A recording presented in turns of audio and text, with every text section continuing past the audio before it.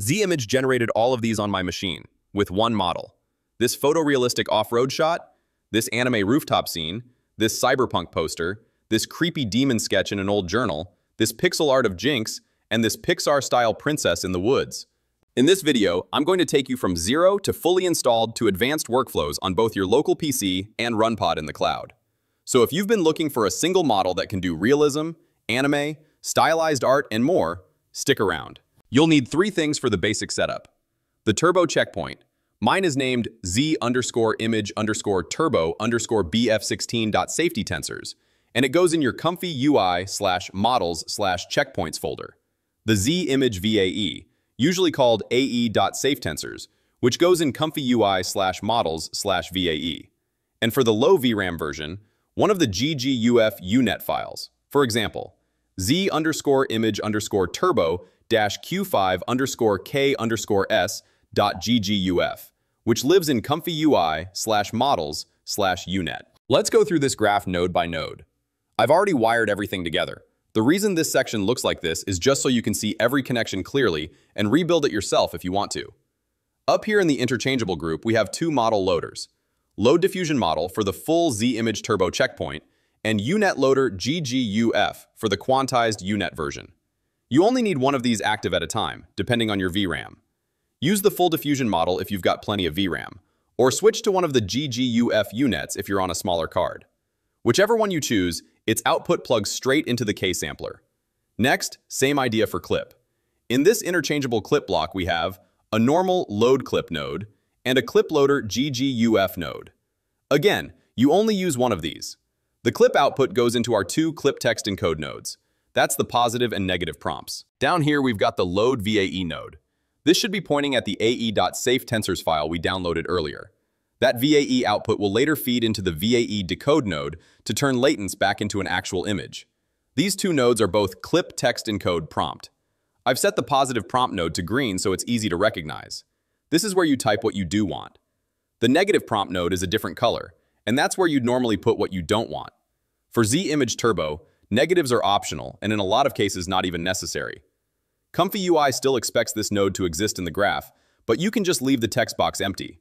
I usually minimize the negative prompt node by clicking the little dot on the left of the title, so it's out of the way but still connected. Both of these text encoders feed into the K-sampler as positive and negative conditioning. This node here is empty SD3 latent image.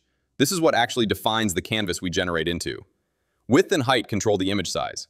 Batch size is how many images you generate per run.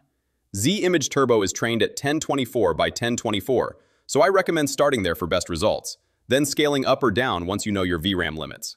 The latent output goes straight into the K-sampler. The heart of the graph is the K-sampler. This node takes in the model from our loader, the positive and optional negative conditioning, and the empty latent image, and it actually runs the diffusion process. A few important settings here. Seed. This is basically the ID of your image. If you keep the same seed and same settings, you'll get the same composition again. Control after generate decides whether the seed changes automatically each time. I keep this on randomize so every run is fresh unless I lock a seed on purpose. Steps. Z-Image Turbo is trained around 8 steps. You can experiment in the 6 to 12 range, but going way above that usually just wastes time and can even make results worse. CFG. Because of how Z-Image Turbo was trained, a CFG of 1.0 works best as a neutral setting. Setting it to 0 tends to break things, so I recommend leaving it at 1.0 and only nudging it for experiments. Sampler name. I'm using Euler here, it's stable and predictable. Feel free to test others if you want different flavor. Scheduler. I'm on simple. Again, it just works. You can play with the others later. Denoise. Leave this at 1.0 for a full-strength generation. The output of the K-sampler is a finished latent that we can decode. Finally, the K-sampler connects to VAE decode, which uses the VAE we loaded earlier to convert that latent into a real image. From there, the decoded image plugs into the Save Image node, which writes your result into the Comfy UI output folder with whatever file name prefix you set. And that's the entire base workflow you need to start generating with Z-Image Turbo. Now that this is working, we can move on to the advanced image workflows. LoRa's, in-painting, image-to-image, upscaling, and sharpening. You'll also see this RG3 bypass node in my graph. This is basically a safety switch that lets me turn on and off different groups without breaking everything when I disable nodes. You don't have to use it, but it keeps big workflows from running all at the same time. Now let's plug LoRa's into this basic Z-Image Turbo setup. You will need to add any load LoRa node. I use and prefer the Power LoRa loader from RG3, but any will work. You put the node between the load models and the text prompts. You've got two options. Download LoRa's manually and place them in the correct folders, or use the Civicomfy panel inside Comfy UI to do it automatically. First option. You can always download any LoRa directly from civitai.com, then drag it from your downloads folder into Comfy UI slash models slash LoRa's. That works, but it's slower. The easier way is to use the Civicomfy app in Comfy UI, which can download models straight into the right folders. For that, we need a Civit AI API key. Go to civitai.com and make sure you're logged in.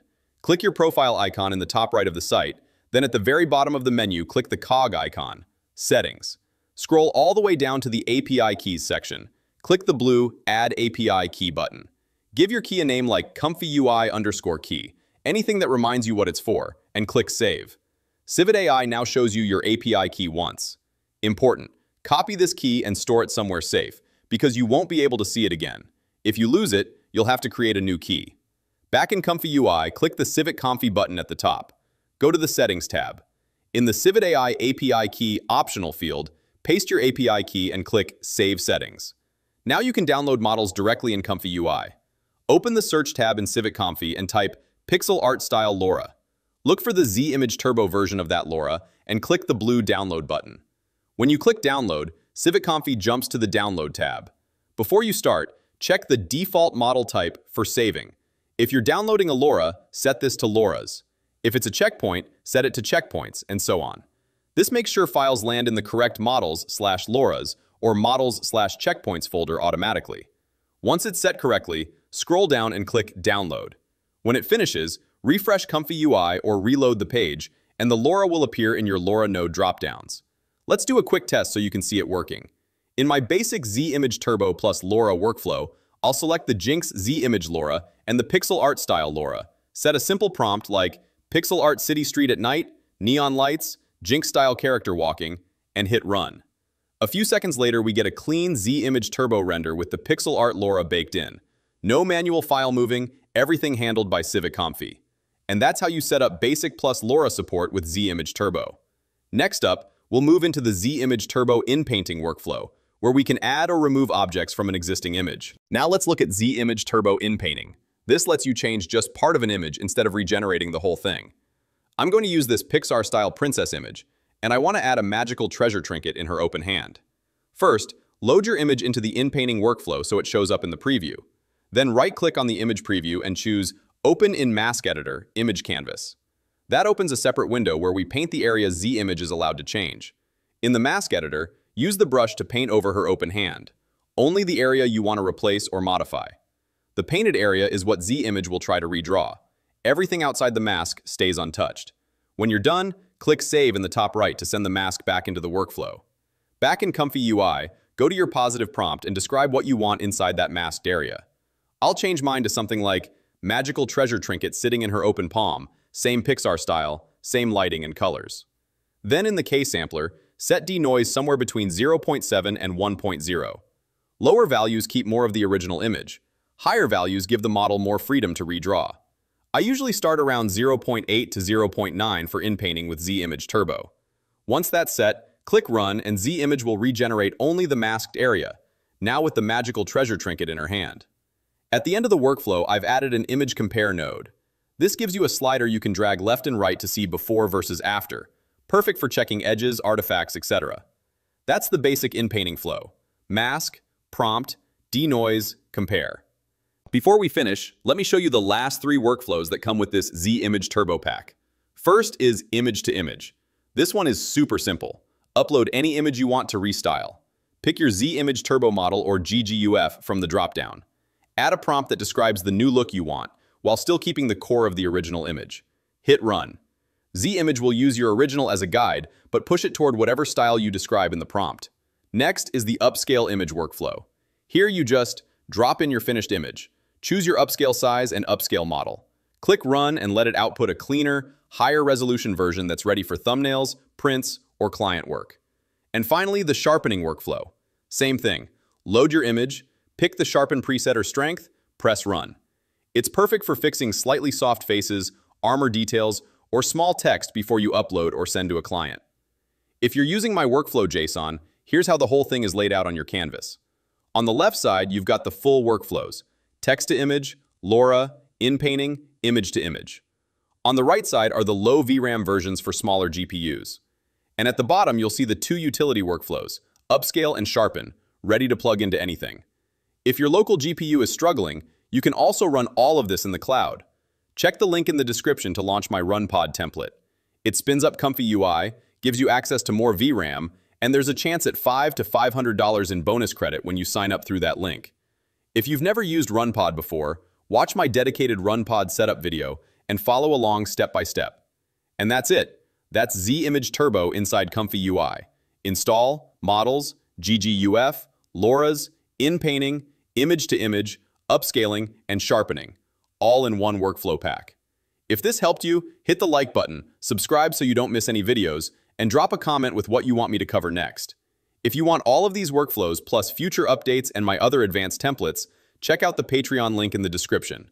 Thanks for watching, and I'll see you in the next one.